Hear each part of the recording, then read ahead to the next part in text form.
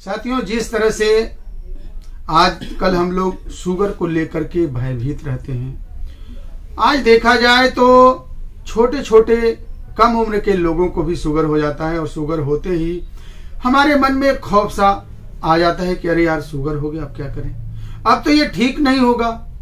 अब तो मुझे जीवन भर परहेज करना पड़ेगा। जीवन भर जो है, समस्याएँ झेलनी पड़ेंगी। और सचमुच में साथियों, जब शुगर होता है, जब आप जाँच कराते हैं शुगर में आपको रिपोर्ट आती है कि आपको शुगर का लेवल बढ़ गया। और संजोग से जब आप बड़े बड़े डॉक्टरों को दिखाते हैं और ये कहता है कि देखिए, आपको शुगर हो गया, दवाई खाइए। दवाई खाने लगते हैं, चलने लगता है, धीरे धीरे धीरे धीरे, साल, दो साल, चार साल बीतता है। जब आप अचानक होश में आते हैं तो पता चलता है कि अब तो आपकी दवा छूटेगी ही नहीं। यहाँ तक की स्थिति यह बन जाती है कि कुछ दिनों के बाद तो अगर आपको दवा से कंट्रोल नहीं होता है तो आपको इंसुलिन पे भी जाना पड़ जाता। जरा सोचिए कि अगर आपकी उम्र कम है, या चलिए कोई भी उम्र हो, अगर आपको शुगर से निजात नहीं मिले तो कितना अजीब सा लगता है। लेकिन साथियों, मैं एक बहुत ही महत्वपूर्ण जानकारी आप लोगों को दूँगा, और जानकारी के साथ साथ कुछ प्रमाण भी दूँगा। शुगर अगर है, निश्चित रूप से हमें मानते हैं कि शुगर को पूरी तरह से खत्म नहीं किया जा सकता।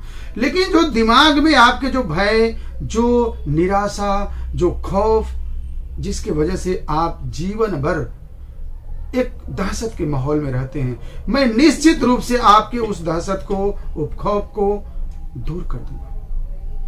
और इसलिए दूर करूँगा, उसके पीछे जो मैं आपको तर्क दूँगा, जो लॉजिक दूँगा, उसके पीछे प्रमाण दूँगा।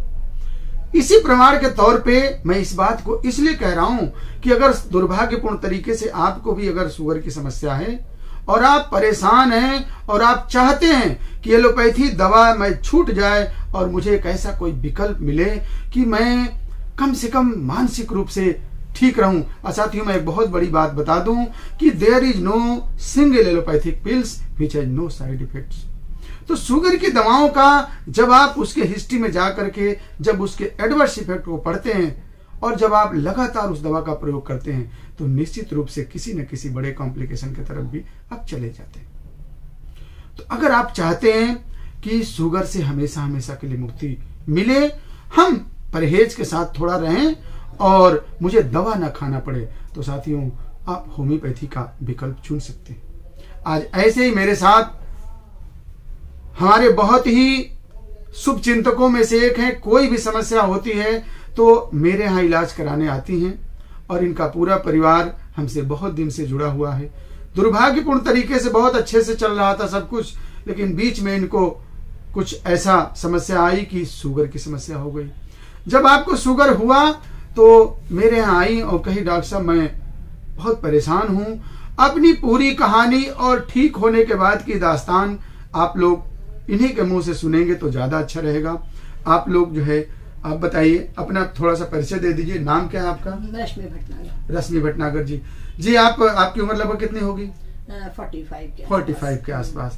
जी आप पूरी बात बताइए।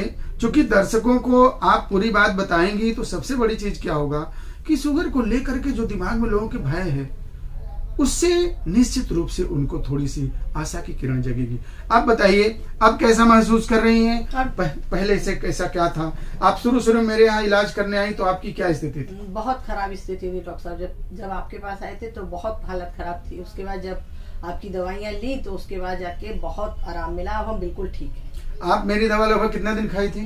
करीब सात आठ महीना। आठ महीना। शुरू शुरू में जब जाँच हुआ हाँ। तो आपका शुगर कितना था? आ, करीब थ्री फिफ्टी थ्री फिफ्टी साथियों थ्री फिफ्टी शुगर था। और मेरी दवा करीब सात आठ महीना ली। हाँ। आप देखिए ध्यान से कि जब आप आती थी तो बड़ा डरी डरी हाँ। यहाँ तक कि आपको एक निगेटिविटी आ गई थी कि डॉक्टर साहब अब जीवन का कोई मतलब नहीं डिप्रेशन टाइप डिप्रेशन टाइप का हो गया था। और आप हाँ एक चीज़ ज़रूर है कि आपने जो भी दवा किया बिल्कुल रेगुलर किया। और आज पिछले कितने दिन से दवा बंद है हम लोगों की? करीब एक डेढ़ डेढ़ महीना हो गया डॉक्टर साहब बंद हुए मेरी दवा डेढ़ महीने। बंद हो गया। अच्छा नहीं इधर तो बहुत दिन से दवा ले रहे हाँ, नहीं नहीं डेढ़ दो महीना हो गया। दवाइयाँ रखी हुई थी अच्छा रखी हुई थी हल्की फुल्की खाती। हाँ पड़ी रहती थी दवाई तो रखी रहते थे तो खाई। लॉकडाउन की वजह से ज़्यादा ले जाते थे। हाँ सबसे अच्छी चीज़ क्या हुई? मेरी दवा के साथ साथ इनके साथ एक जो बहुत बड़ी चमत्कार देखने को मिला लगभग 9-10 किलो वेट इनका कम हुआ। हम्म, ये बहुत बड़ी चीज़ हुई कि अगर इनका वेट बहुत ज़्यादा रहता था वेट की वजह से ही बेचारी बहुत परेशान रहती थी। आज वेट कितना है? हम्म, आज सेवेंटी फाइव। 75 जो 86 था एटी सिक्स 86 से 75 वेट हुआ और शरीर में चुस्ती फुर्ती अब सब कुछ है। कोई दवा नहीं चल रही है। सिर्फ़ हमने ये बताया था भाई आपको खान पान रहन सहन सही रखना है।